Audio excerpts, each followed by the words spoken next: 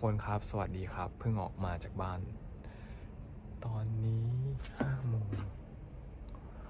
ห้าโมงหกโมงหกโมงเย็นครับ อันนี้หน้าบ้านประมาณนี้ เดี๋ยวเราจะพาเดินไปดู อะไรเล็กๆน้อยๆนะครับ วันนี้ไม่ได้ไปไหนเลย พามาดูบรรยากาศ ทั่วๆไปประมาณนี้ โอเค ไว้ไปคุยกันต่อนะครับ ในบ้านนะครับ ไม่ได้ไปทำงานนะครับ อยู่บ้านเฉยๆชาเลนจ์ใช้เงินศูนย์เยน แล้วก็ประสบความสำเร็จตอนนี้ประมาณ6โมงเย็นนะครับ ยังไม่ได้ใช้เงินเลยสักเย็นเดียว ก็ดีแล้ว ตอนนี้อากาศประมาณลบหกนะครับ แต่ว่าตอนเช้าอะลบสิบสามเว้ยเป็นไงครับ น่ารักปะทอมแอนเจอรี่หนาวมากเลย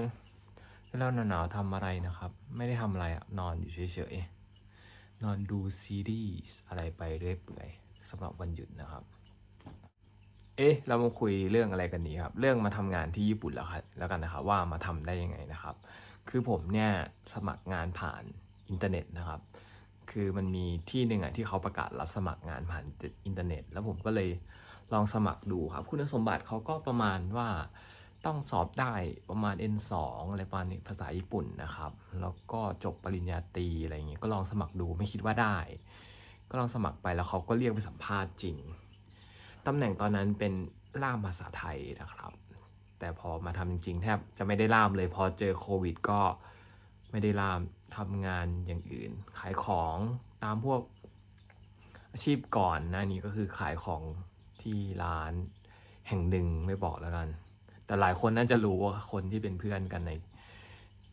ในความเป็นจริงก็น่าจะรู้ว่าร้านไหนนะครับ ซึ่งนั่นแหละครับก็ทำมาประมาณ 3 ปี ตอนนี้ก็ย้ายมาอยู่ที่ฟูรานโนแล้วนะครับ มาทำงานเกี่ยวกับแกลมปิ้งครับ เป็นแคมป์อะไรประมาณเนี้ยครับ ซึ่งเพิ่งมาทำได้ประมาณ 3-4 เดือน แล้วก็เดี๋ยวจะดูไปเรื่อยๆ ถ้ามีหนทาง เราก็อาจจะไปทำงานดึกๆหรือเปล่านะ ก็ไม่แน่ใจนะครับ วันหยุดหนึ่งวันก็ไม่ได้ทำอะไรทำงานมาประมาณ 3 วันติด แล้วก็วันหยุดส่วนใหญ่อยากจะอยู่เฉยๆ เพราะว่า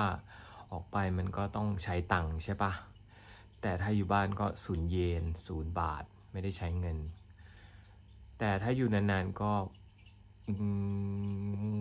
รู้สึกแย่ๆนิดนึง ก็พยายามจะออกออกไป แต่ว่าพอเห็นทางหิมะแล้วก็ไม่ค่อยอยากออกเท่าไหร่ โอเค ไว้ยังไงพรุ่งนี้ผมมีโปรแกรมว่าจะไปซัปโปโรนะครับ ยังไงเดี๋ยวจะถ่ายคลิปมาฝากทุกคนแล้วกันนะครับสำหรับวันนี้ขอบคุณทุกคนมากนะครับ ที่ช่วยติดตามกันนะครับไว้เจอกันใหม่บ๊ายบาย